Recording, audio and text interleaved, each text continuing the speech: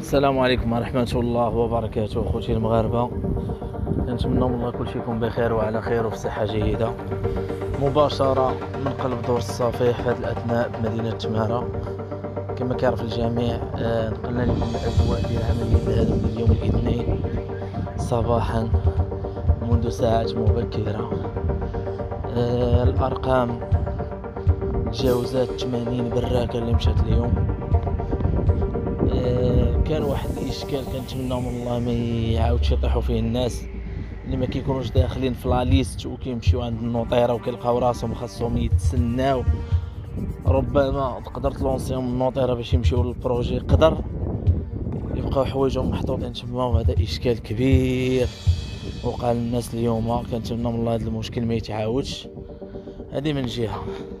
فيما يتعلق بعملية الهدم اليوم غد الثلاثاء.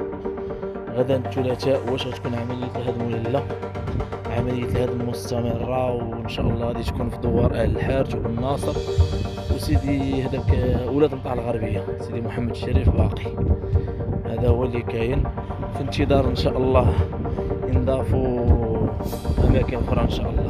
كنهضروا على أماكن أخرى كنهضروا على الملحقة الإدارية الأولى كنهضروا على الملحقة الإدارية الثامنة الثالثة. اللي إن شاء الله في مستقبل الأيام غادي يلتحقوا بعد ما ندوزو من السيكتور جوج وثلاثة للربعة والخمسة والستة والسبعة وندوزو للواحد والثمانية نتمنى من الله الخير نتمنى من الله أن الأمور تمشي في الطريق الصحيح. آه بالنسبة لعملية الهدم ديال غدا غادي تكون فيها إن شاء الله كذلك أزيد أزيد من 80 براكة كنهضروا على أرقام اللي هي صراحة أرقام كبيرة.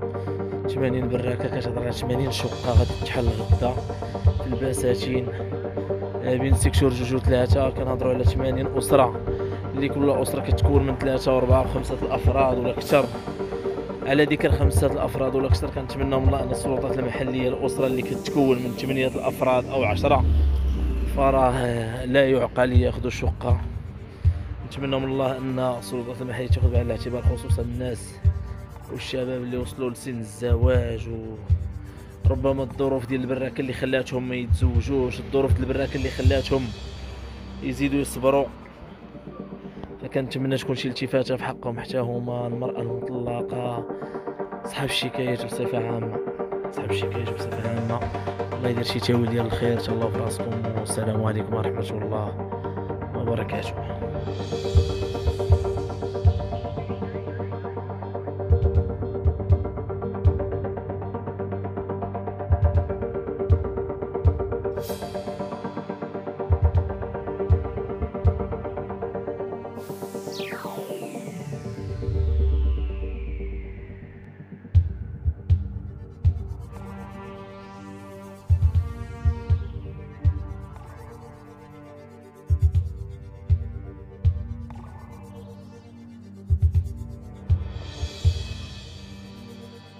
إن أعجبك الفيديو لا تنسى الإعجاب والاشتراك في القناة.